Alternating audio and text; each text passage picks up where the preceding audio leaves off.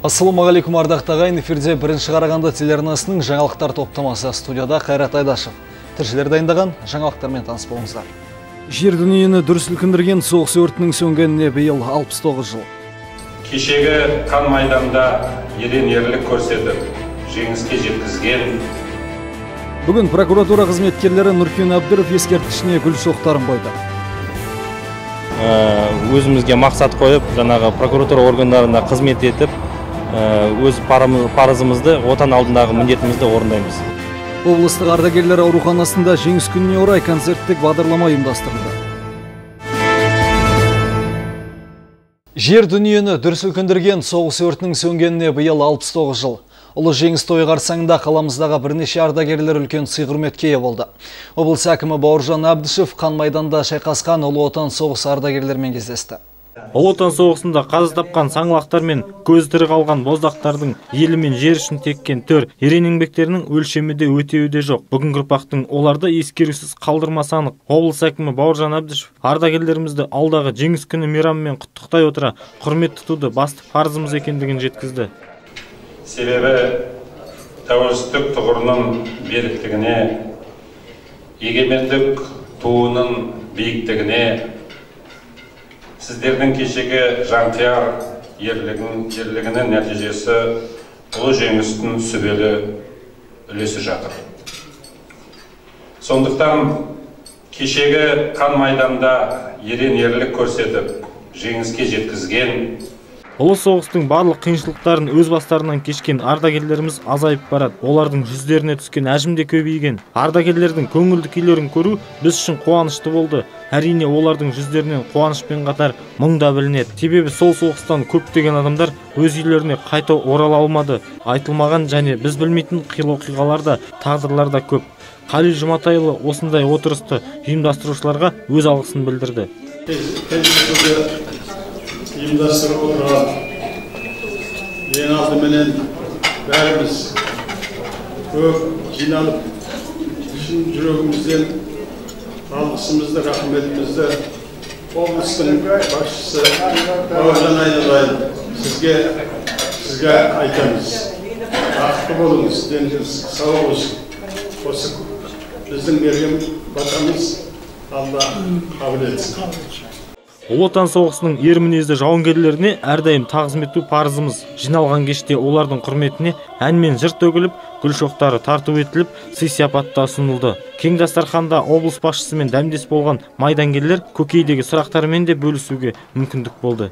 Всех вас сердечно поздравляю с этим великим праздником победы нашего народа над фашистской Германией. Желаю вам крепкого здоровья, счастья, благополучия, всего самого доброго. Жауындаған жастық шағын қиып жауға аттанғандардың легі бүгінде немере сүйіп өз елінің абыройлысы болып отыр. Ұлы отан соғысы ардагерлерінің есімін ескерткіш тақтаға алтын әріппен жазса да аздық етер. Мақсат бейсенаев айдын жақан ернұр жомарт бірінші қараған телеарнасы. Отан үшін отқа түсіп күймеген қарияларда қала әкімі Мейрам Смағұлов та құттықтады. Салтанатты жиынға жүз ардагер қатысып, дәстүрлі әскери дастарханнан дәм татып қайтты.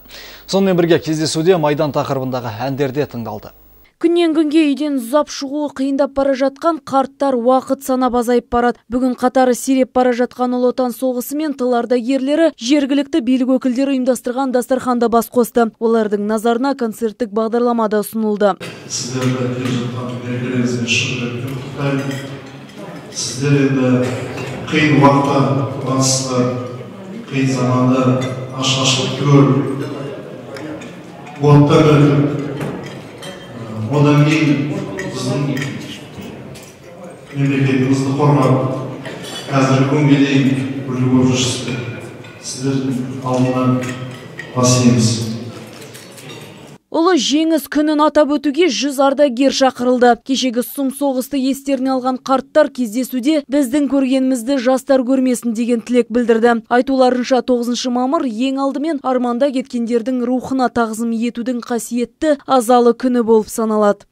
Сонда тұрып жеткенде барған бетте бізді тәртіп 15 күн не болады карантин Айта кету керек жергілікті әкімшілік тарапынан жеңіс күн аясында Ұлы Отан соғысына қатысқандардың әрқайсысына жыл сайын 80 мың теңгені құрайтын материалды көмек беріледі. Бұл жолы да бұл шара назардан тыс қалмады. Мәселен, қала бойынша ақшалай сыйлыққа Ұлы Отан соғысына қатысқан 8700 адам ие болды. Бұл мақсатқа қалалық бюджеттен 44 миллион теңгеден астам қаражат бөлінді. Мейрамгүл Салқынбаева, Олжас Ғаббасов, Ернұр Жомарт, бірінші Қарағанды телеарнасы.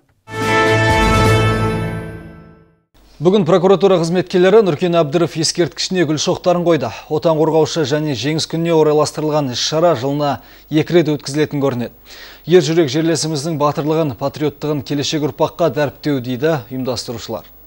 Егер сұрапыл соғыс болмағанда ер жүрек жерлесіміз Нұркен Абдыров те биыл 95-тің төрінде отырар ме 1942 жылдың 19 желтоқсанында Батыр өзінің серігі атқыш әрі байланышшы Саша Комиссаровпен бірге соғыс аспанына соңғы рет самғап шыққан болатын. Өзекті жанға бір өлім деген оймен отқа оранған күміс қанат сұңқарды фашист танктері шоғырланған тұсқа қарай бұрып, мыңдаған жауды өздерімен ала кетті. Осы ерлігі үшін Нұркен Абдыровке 1943 жылдың 31 наурызында Кеңес одағының батыр атағы берілген болатын қарқаралы өңірінің тумасы алғашқы еңбек жолын қарағанды прокуратурасында бастаған көрінеді так как Нуркен Абдиров герой Советского Союза, он свою трудовую деятельность начал именно в органах прокуратуры Карагандинской области. Начал с должности секретаря, затем стал управляющим канцелярией прокуратуры Карагандинской области. И в 1939 году он был назначен народным следователем Сталинского района города Караганды. А в 1940 году он ушел Оренбургское авиационное училище и в 42 году уже на, на фронт.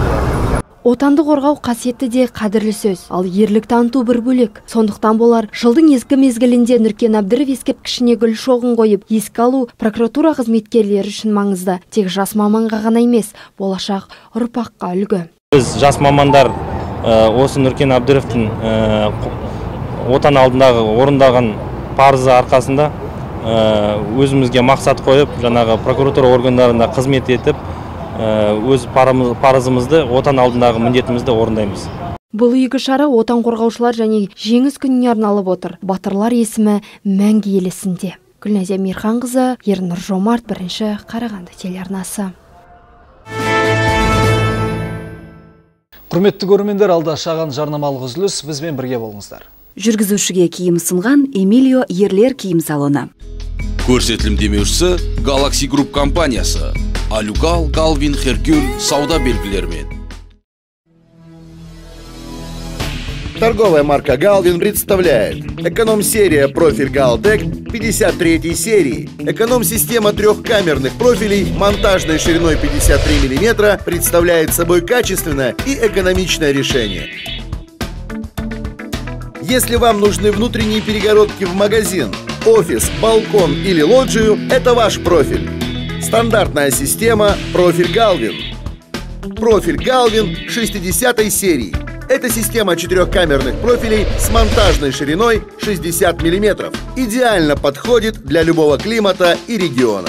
Система стандарт относится к классу А, а значит полностью соответствует современным требованиям качеству оконных и дверных профилей. А теперь новинка. Серия «Эксклюзив». Пятикамерный профиль Galvin 70 серии. Монтажная ширина 70 мм. 5 камер и наличие дополнительного паза для резинового уплотнителя значительно повышают тепло- и звукоизоляцию. Толщина лицевых стенок 3 мм. Помимо белого цвета, профиль Galvin выпускается в шести цветах. Золотой дуб, махагон, мореный дуб, темно-коричневый, орех и серый. Но и это еще не все. Имеются профили односторонние, внутренней и наружной ламинации всей цветовой линейки. Все профили торговой марки Galvin и Galtec не содержат свинца и на 100% соответствуют санитарно-эпидемическим нормам. Профиль Galvin – морозостойкий, надежный, прочный. Қасіретті соғыстың жаңғырығы Майдан мен жаутылында басын өлімге тіккендер есімі барша қазақстандықтардың жадында есте қалмақ.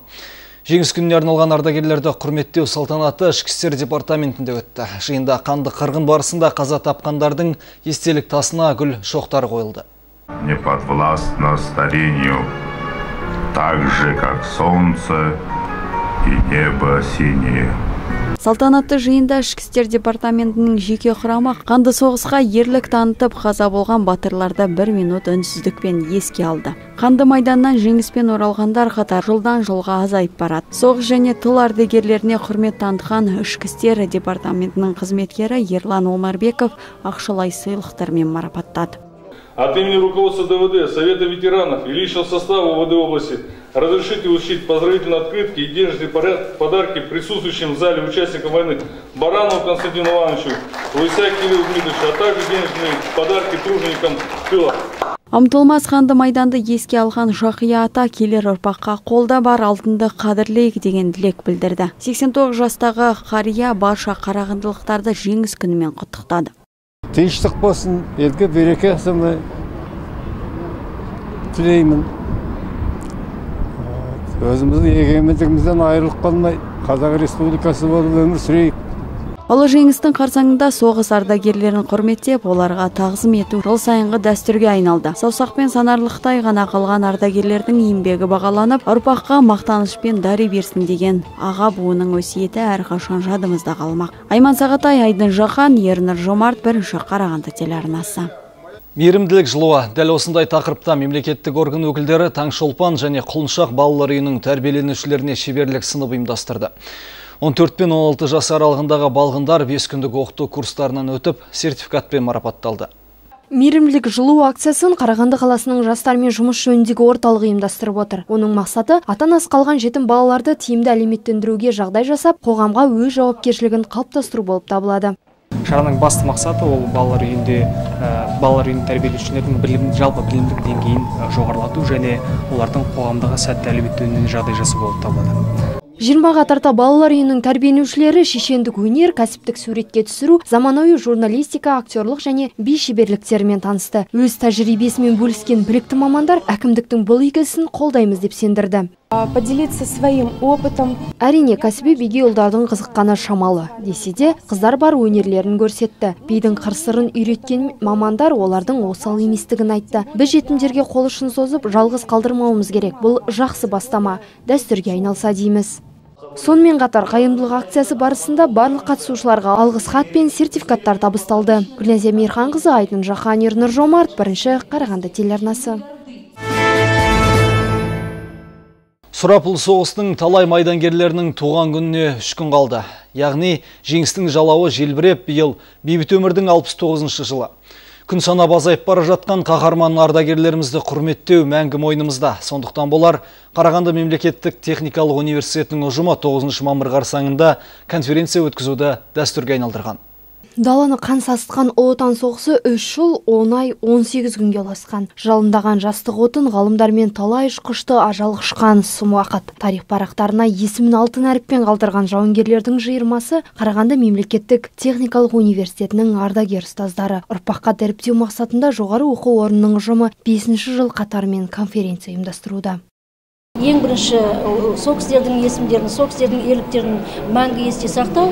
Екінші осындай жағдай болма, болмағандай сондықтан соғыс жайлы білуіміз керек соғыс жайлы оның ерліктерін жасаған ерлік жасаған адамдардың есімдерін мәңгі сақтауымыз керек. Одан қалды келешек ұрпақ жақсы өмір сүру үшін енді тарих ол біздің келешек ұрпағымыздың тарихына ұласа берсін дейміз. Халықаралық конференцияға жан жақтан келген студенттер өз мақалаларын әкелген медицина университетінің екінші курс студенті саламат омбай солардың бірі. Болашақ дәрігер соғыс жылдарындағы медицинаның әлеуметтік ахуалын зерттеген көрінеді. Зеңбір балғақ таңғыштарды ауыстыратын құрылғылар дайындалған ғалымдар туралы жазыпты. Он үш елдің астынан жаңағы эвакуацияланған халықтардың ішінде өздерге белгілі бірқатар профессорлар академиктер болды. Солар қазақстанға келіп өздерінің жаңағы соғысқа деген жаңа үлестерін қосты.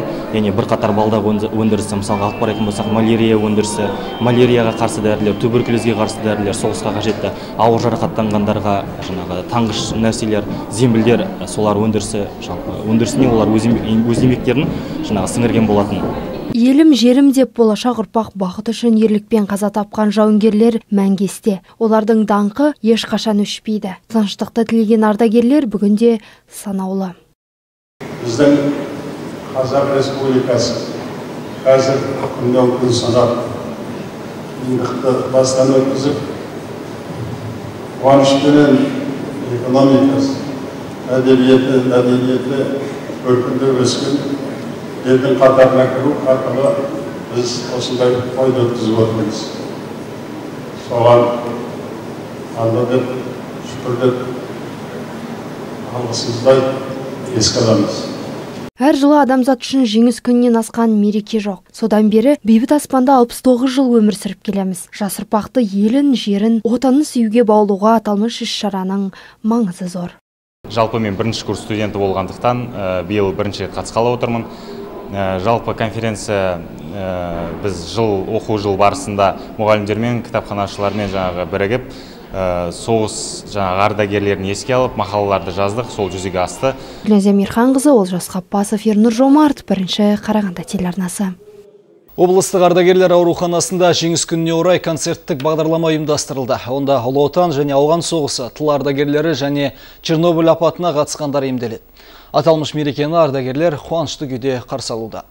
ардагерлерге медициналық көмек көрсететін облыстық орталық қазақстанда қарағандыда ғана екен. Онда стационарлық бөлім мен емхана жұмыс істейді. Өмірінің қызықты жалынды жастық шағы қиын кезеңге тап келген жандар бүгінде мемлекеттің қамқорында. Облыс әкімі бауыржан әбдішев ауған соғысының ардагері бірінші топтағы мүгедек азаматтық міндетін ерлікпен орындаған теміртаулық мейрам кәрібаевқа мереке аясында шкода автокөлігін сыйлаған. Сол өзімізде не бар? Общество ашқанбыз. Общество афганцев сол это бір бірімізге көмек қолын ұшын беріп мынадай мүгедек кісілерге сосын жараланып келген жігіттерге солай несін көмектесіп жүреміз. Осы осы жерде ылғи келіп осы ауған соғысына қатысқан отан соғысына қатысқан кісілер келіп жатып кетеді ардагерлерді емдеу орталығы жеңіс күнін жылда атап өтеді. Бүгінде облыста ұлы отан соғысының 400 ауған соғысының 2000 20 мыңнан астам тыл ардагерлері бар. Соның бәрі осы орталыққа емделуге келеді қазіргі таңда ауруханада 100 адам қаралуда дәрігерлер емделушілердің барлық жағдайын жасауға тырысамыз дейді Наш областной центр медицинской помощи ветеранов войны Бүгінде жеңіс күнін атап өтіп жатырмыз. Мерекені жылда ардагерлермен қарсы аламыз. Бізде емделушілерге барлық жағдай жасалған. Мұнда тек ардагерлер мен соғыс мүгедектері келеді. Олар қажетті емін алып, жақсы демалып кетеді. Өмірдің ыстық суығын көрген жандар қанша қиындық көрсе де рухы биік жігері асқақ тұрады. Салтанатты кеште соғыс кезіндегі өлеңдер шырқалып батырлардың ерліктері насихатталды. Көрермендер сол өлеңдер арқылы соғыстың ауыртпалығын сезініп бейбіт өмірдің бағасына жеткендей болды. Жаңабек наров қайрат рашитов ернұр жомарт бірінші қараған телеарнасы. Пришахтинскідегі молодежный мәдениет үйінде алғаш рет жастардың жайдарман ойын сауық думаны өткізілді. Онда мектеп оқушылары мен студенттер күнделікті жағдайларды көрерменге жайдарманның жайдарлы әзілмен жеткізе білді. Жеткіншектердің көңілді кеші шаһарымыздың 80 жылдық мерейтойына арналды. Внученька, почему у тебя такая маленькая квартира? Ты бы хотя вон там повесила картину. Бабушка, подожди, мы еще в лифте едем. А, қала мерейтойының аясында ұйымдастырылған көңілді тапқырлар клубы жастарының думанына елуден астам жас өнерпаз қатысты ойын сауық кешін мәдениет үйінің ұжымымен жастар өз күштерімен өткізді мектеп оқушылары мен студенттерден құралған ойыншылар тобы қоғамдағы өзекті мәселелерді көтеріп сатиралық қойылымдарымен көпшілікке ой салуға тырысты Девушка, девушка, можно с вами познакомиться? Нельзя, я по телефону разговариваю. А у меня Мерседес и квартира в центре Астаны. А у меня Бентли и, и, и... Ну, короче, у меня все есть. Я тогда твой! жайдарманда жалпы 5 команда ойнады. Талантты жастардың шашпауын көтеруге экономикалық университеттің құрама командасы да келді. Бүгінде бойында жалыны бар жас өркен осы шараның айналасынан табылады. Сондықтан да өсіп келе жатқан ұрпақтың талантын ұштап қоғамдық істерге белсене араласатын азамат ретінде тәрбиелеу басты мақсат дейді мәдениет үйінің қызметкерлері. Бұл ойынның басты мақсаты болып жастарға патриоттық тәрбие беру дарынды жастардың зерделік потенциалын жүзеге асыру. Сонымен қатар квн ойындарын енді жандандыру мақсатында өткізіліп отыр.